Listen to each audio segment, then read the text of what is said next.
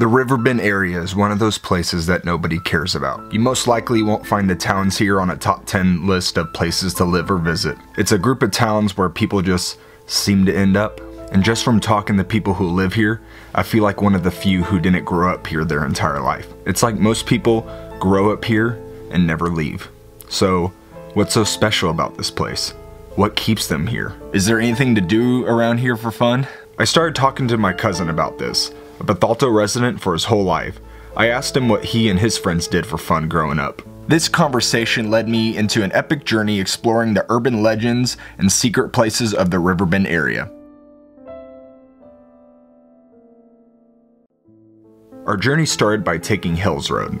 It's actually called Snake Road, but nobody calls it that. It's Hell's Road. And if you hear someone tell you about some kid who died in a car accident, they'll probably tell you that it happened on Hell's Road, regardless of whether or not it actually did. People around here also tell of a story about a woman who came to a bridge on this road, killed her baby in the water, and hung herself off the bridge. And if you come to that bridge at night and turn your car engine off, it won't turn back on.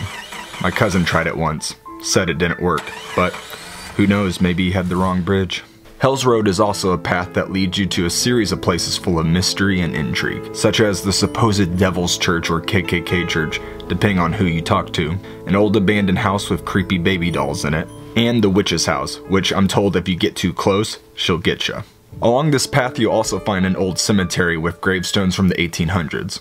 I started asking for more crazy stories about scary stuff that supposedly happened in this area. I guess I was looking for a deeper reason for people coming out to places like this, but there really wasn't anymore. People, kids mostly, came out here simply because in places like this, you gotta make your own fun. Then I realized something. It's places like Hell's Road that make that Riverbend area unique.